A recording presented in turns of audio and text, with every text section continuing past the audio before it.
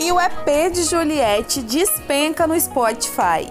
Após cinco dias de estrear e bater recorde, segundo Léo Dias, Juliette despenca e vai lá para baixo. Depois de ter ido lá pro topo, ela continua despencando no Spotify.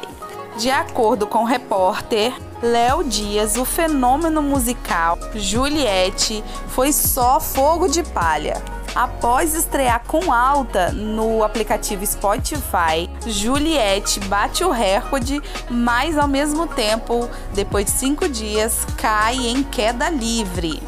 De acordo, o Léo Dias é, lá te lançou, foi recorde, foi tudo fogo de palha, ela bateu recordes, mas depois todo mundo já esqueceu, ninguém é, repetia mais as músicas de Juliette, segundo o Léo Dias, tá no site de Léo Dias. Mas o clipe de Juliette está batendo recorde e tá em primeiro em alta. E aí, gente, o que, que vocês acharam dessa matéria de Léo Dias? Deixa aqui embaixo nos comentários. Conte-nos todos aqui embaixo nos comentários e corre aqui para assistir os nossos outros vídeos do canal. Tem vários vídeos do documentário da Juliette, então corre aqui para assistir.